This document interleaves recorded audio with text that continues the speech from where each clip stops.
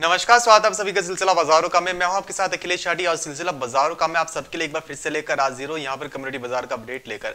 जानेंगे कि आज सोमवार के दिन, हफ़्ते के पहले कारोबारी दिन, कम्युनिटी बाज़ार कैसे ट्रेड करता नज़र आ रहा है, किस कम्युनिटी के अंदर कितनी मंदी तेज़ी है और उस पर रूपा मेहता की क्या राय रहेगी। रूपा जी, देख रहे हैं, बिनौला खल का मार्च वायदा बत्तीस ऊपर के सस्टेन है और हल्की सी करेक्शन है। आपको क्या लगता है, क्या अभी भी बिनौला खल रेंज बाउंड में ही रहेगा? देखिए अभी भी रेंज बाउंड है मार्केट के अंदर और स्पेशली बिनोला खल और कॉटन अब मुझे लगता है कि थोड़ा बहुत करेक्शन जो है इनमें बना रह सकता है लेकिन बिनोला खल में नीचे से में सपोर्ट जो अभी इकतीस सौ अस्सी के आसपास आता हुआ दिखाई दे सकता हम्म। है. एक्सपायरी हो चुकी है फेब्रवरी वायदा की और मार्च वायदा में तो ये करेक्शन है.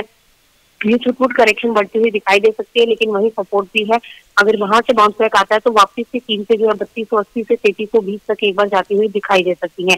अभी फ़िलहाल बहुत ज़्यादा लंबे टारगेट आते हुए दिखाई नहीं दे रहे हैं, क्योंकि कंसोलिडेट हो चुका है मार्केट यहाँ पर तो एक रेंज बाउंड एक्टिविटी बिनौला कल में देखने को मिल सकती है। जी। रूपा जी इसे बात करें, अगर कॉटन की तो M6 कॉटन में आपको क्या लगता है? अब यहाँ से M6 कॉटन में कैसा रुझान रहेगा? देखिए एमसी कॉटन यहाँ से मुझे लगता है कि नीचे में एक बार सैंतीस सौ सैंतीस हज़ार से लेकर छत्तीस हज़ार आठ सौ तक नीचे लुढ़कती हुई दिखाई दे सकती है। पीक सीज़न अब निकल चुका है। अब जो तेज़ी आनी थी मेरे हिसाब से वो रैली बन चुकी है।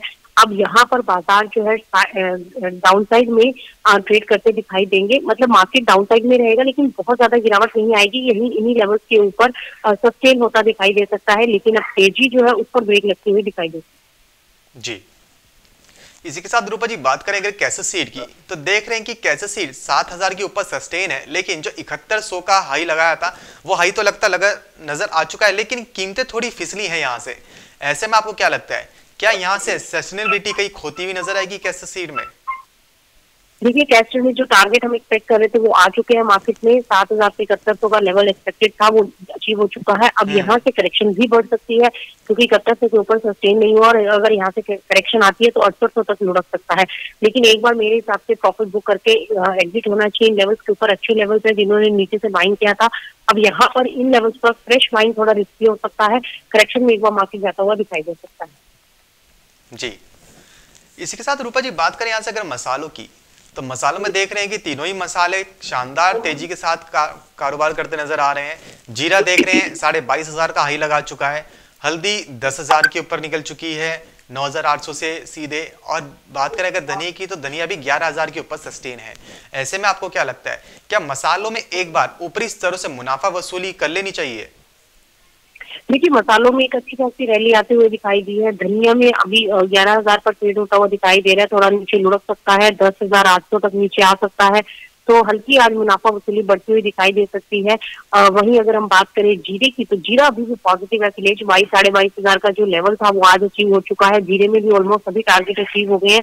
अब देखना ये होगा कि यहाँ पर जीरा सस्टेनेबिलिटी लाता है ट्वेंटी टू थाउज़ेंड के ऊपर तो अगेन आपको नए अच्छे लेवल्स देखने को मिल सकते हैं। तेईस हज़ार से साढ़े तेईस हज़ार की तेज़ी भी पकड़ सकता है। वहीं बात करें, हल्दी की तो हल्दी में अब निचले स्तरों पर एक सपोर्ट मिला है और वापस से वहाँ से खरीदारी देखने को मिली है। तो मुझे लगता है कि हल्दी भी दस हज़ार पाँच सौ से दस हज़ार आठ सौ तक जा सकती है। एक धनिया हल्की करेक्शन दिखा सकता है, लेकिन ओवरऑल बाकी सभी कमोडिटीज में पॉजिटिव निशान बनता हुआ दिखाई दे रहा है। जी। इसी के साथ रूपा जी, बात करें यहाँ से अगर अब ग्वार कॉम्प्लेक्स की तो देख रहे हैं कि ग्वारगम और गवासी में ऊपरी स्तरों से हल्की सी करेक्शन बनी है। आपको क्या लगता है? क्या इस कारोबारी सप्ताह ग्वारगम गवासी में जो करेक्शन है ये गहरा जाएगी? देखिए ग्वारगम और ग्वारसीट में यहाँ पर इन लेवल्स के ऊपर जो हाजिर मंडियों में देखा जाए तो डिमांड नहीं निकल रही है जिसकी वजह से हम्म। बाज़ार सुस्त है और यही इसी रेंज में पकड़ कर रह गया है। तो अब यहाँ से हो सकता है कि करेक्शन बढ़ती हुई दिखाई दे और फिर करेक्शन पर बाइंग आए क्योंकि इन लेवल्स के ऊपर फ़िलहाल मांग कम होती दिखाई दे रही है जिसके चलते कीमतों पर दबाव बन सकता जी। रूपा जी इसे बात करें अगर अब खाद्य तेलों की तो खाद्य तेलों में खबर निकल के सामने आई है कि भारत ने अमेरिका के साथ कॉन्ट्रैक्ट साइन किया है जिसमें लगभग एक लाख टन रिफा, रिफाइंड सोया तेल इंपोर्ट करने का कॉन्ट्रैक्ट है। ऐसे में आपको क्या लगता है? इसका असर सोया तेल की कीमतों पर कितना देखने को मिलेगा? क्योंकि देख रहे हैं कि अमेरिका में तो लगातार सोया तेल की जो कीमतें हैं, लगातार तेज ही हैं, और जो यूएस सोयाबीन वादा है, वो भी 1600 डॉलर के ऊपर ही है। ऐसे में आपको क्या लगता है, सोया तेल अब जो इंपोर्ट होएगा, महँगा होएगा तो उसका असर अब घरेलू बाज़ार में कितना देखने को मिलेगा? देखिए अगर इम्पोर्ट महँगे होंगे तो डेफिनेटली प्राइजेस जो है वो अपसाइड में जाते हुए दिखाई देंगे और यहाँ पर भी कीमतें जो है वो ते, तेज होती हुई दिखाई देंगी। लेकिन इनको कंट्रोल करने के लिए ही आ, मुझे लगता है कि तरीके तरह तरह के स्टेप उठाए जा रहे हैं ताकि खाद्य तेल की कीमतों के ऊपर कंट्रोल किया जा सके। लेकिन फ़िलहाल कीमतें कहीं पर भी कंट्रोल होती दिखाई नहीं दे रही हैं क्योंकि जिस तरीके से विदेशी बाजारों पर आ, हमें देखने को डिपेंडेंसी हमारी देखने को मिल रही है और उधर से कीमतें वहाँ पर एक अच्छी खासी रैली के साथ ट्रेड करती हुई दिखाई दे रही है। तो अभी प्राइजेस जो है वो ऊपरी स्तरों पर बने रह सकते हैं। हम्म। अभी देखना होगा जैसे कि सरसों की अगर बात करें तो जैसे कि एक्सपेक्ट किया जा रहा है कि रिकॉर्ड उत्पादन हो सकता है तो वो भी प्रोडक्शन कितना होता है उसके ऊपर डिपेंड करेगा कि प्राइजेस कहाँ पर जाएँगे। लेकिन अभी फ़िलहाल का जो सीनेरियो है वो काफ़ी पॉजिटिव दिखाई दे रहा है क्योंकि कहीं से भी कोई गिरावट आती हुई दिखाई नहीं दे रही है। लेकिन हाँ मार्केट यहाँ पर सस्टेन होते हुए दिखाई दे सकते हैं। जी। इसी के साथ रूपा जी बात करें यहाँ से अगर सोयाबीन की तो सोयाबीन में आपको क्या लगता है? एनसीडीएक्स पर हम सड़सठ सौ पचास तक का हाई देख चुके हैं। यूएस सोयाबीन 1600 डॉलर के ऊपर निकल चुका है और भारत भी अब यूएस से रिफाइंड सोया ऑयल इंपोर्ट करेगा और चाइना भी लगातार खरीद कर रहा है। तो ऐसे में आपको क्या लगता है? क्या सोयाबीन अब यहाँ से सात हज़ार के भी पार जाने के लिए तैयार हो गई है? देखिए बिल्कुल सात हज़ार के पार जा सकती है क्योंकि देखिए अभी पीछे हमने देखा है कि एक महीने के अंदर अंदर पंद्रह रुपए प्रति किलो तक भी भाव जो है बढ़ हम्म। चुके हैं। तो अभी फ़िलहाल जो है वो कीमतें जो है वो लगातार तेज़ी के साथ बढ़ती हुई दिखाई दे रही हैं और अभी फ़िलहाल कहीं से भी कोई ईजो फाटा दिखाई नहीं दे रहा है। अभी आगे चलकर होली रमज़ान ये सभी फेस्टिवल आने वाले हैं तो इस पर भी खाद्य तेलों की डिमांड जो है और ज़्यादा बढ़ती हुई दिखाई दे सकती है।